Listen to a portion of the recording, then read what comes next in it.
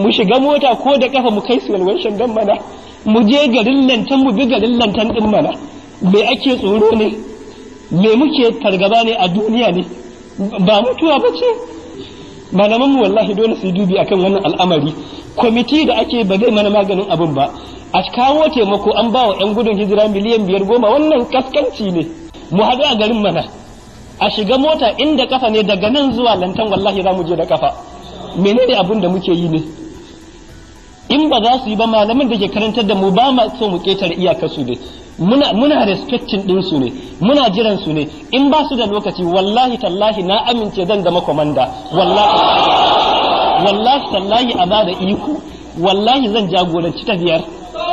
Wallahi zan jagoranta a gayyata. Wallahi mu mai da kowa gidansa.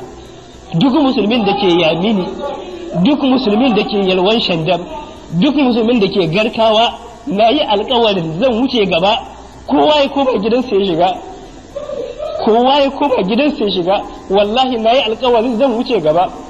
Na yi alkawarin a kashe ni akan addinin Allah na amince na amince a nan ma a kashe ni akan addinin Allah na amince na amince. Me muke yi ne a rayuwa?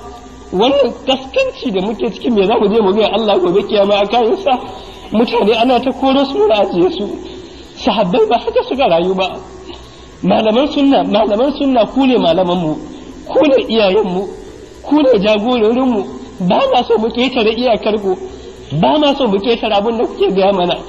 Kaskancin da muke rayuwa ya ishe mu a rayuwa ya ishe mu a cikin rayuwar da muke. Ba a mana magana ba aka aka rusa masallaci a numan. Musulmai suna kuka makiyin Allah ya ce a rusa. Babu wanda ya magana.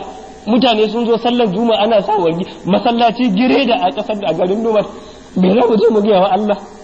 A sallah kadai Allah yake bukatan mu da shi? Azumi kadai Allah yake bukatan mu da shi? Azumi kadai Allah yake buƙata mu ya wata ramadan? Kika ba za mu mutu ba ne jama'a.